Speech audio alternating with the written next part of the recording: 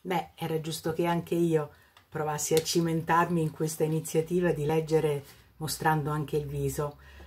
Allora, siccome mi piace tanto leggere, mi piacciono le fiabe, mi piacciono le favole, mi piacciono le leggende popolari, oggi ho deciso di leggere queste fiabe piemontesi, fiabe piemontesi, che sono state scelte da Gianluigi Beccaria e tradotte da Giovanni Arpino e sono dedicate a tutti i nostri amici piemontesi che in questo momento stanno attraversando il brutto periodo del coronavirus.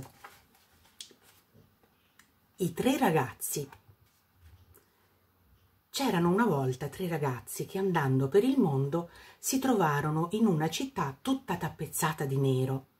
Ne domandarono il perché. La gente gli rispose che lì vicino c'era un mago tutti gli anni veniva tirata a sorte una ragazza e quel mago se la pigliava. I ragazzi domandarono quale ragazza era toccata al mago e la gente rispose la figlia del re. Allora i tre dissero noi siamo capaci di liberarla. Gli rispose il re se siete in grado di liberare questa figliola ve la do in sposa. Loro vanno vanno, vanno, trovano un pozzo profondo, calano una fune per scendere, ma il primo ha paura di tentare e così il secondo. Scende il terzo che ha il coraggio del cacciatore. Arrivato in fondo si trovò in una sorta di città, carrozze che vanno e che vengono, un gran castello. Il ragazzo entra nel castello, che è del mago, e vede la figlia del re, che subito scoppia a piangere e gli consiglia di andar via perché il mago sta arrivando e di certo lo mangerebbe. Ma lui risponde Andiamo piano col mangiarmi, anch'io potrei mangiare lui.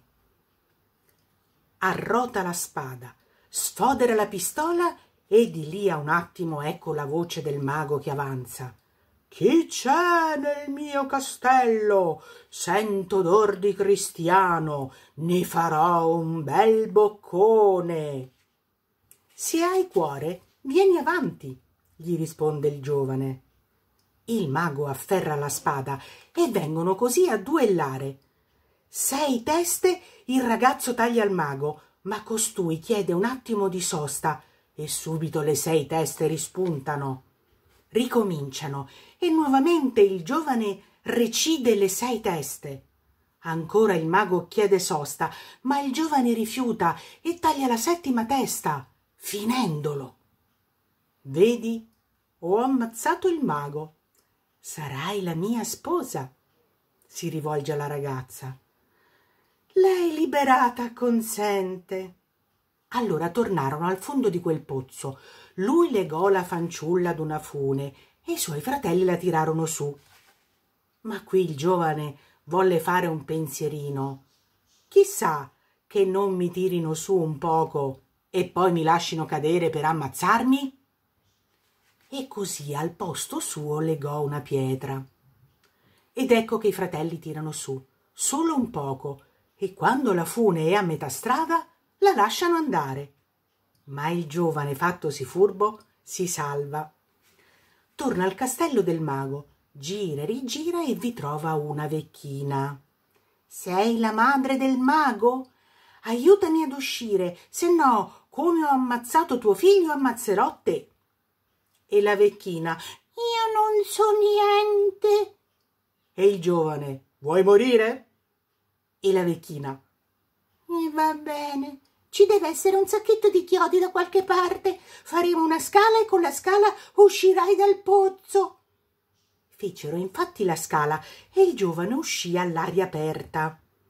Con il suo schioppo in spalla se ne va a raggiungere i fratelli. Gli dice Bella gente che siete, bella figura volevate farmi fare. E i fratelli Perdonaci, la corda s'è strappata, ti credevamo morto. E lui, pazienza, vi perdono. Partirono tutti assieme, arrivando poi in un luogo dove c'era un fiume da attraversare. Ma come furono sulla barca, ecco rispuntare il mago che volava in aria come un temporale. I due fratelli dissero al terzo Sparagli, tu che sei cacciatore. Costui tirò e colpì. E il mago cascò sulla barca, fracassandola. Uno dei tre fratelli era legnaiolo e così gli altri dissero Tu aggiusta la barca, se no affoghiamo. E questi accomodò la barca. Superato il fiume, la figlia del re si accorse di avere le scarpe rotte. Ma uno dei fratelli era calzolaio e gli altri gli dissero Falle un paio di scarpe. E lui le fece. Arrivarono alla casa del re, che fece tappezzare la città tutta di rosso e chiese Chi è il giovane che liberò mia figlia? Il cacciatore rispose Sono io. Il legnaiolo rispose Se non aggiustavo la barca sarebbe affogata. Il calzolaio aggiunse Se non le facevo le scarpe, mai sarebbe arrivata. Tra chi diceva una cosa e chi l'altra, il re, per evitar litigi, decise Basta, mia figlia non la darò a nessuno, però vi darò altre tre mogli. I tre giovani si dissero ugualmente contenti e con le spose tornarono a casa festosamente.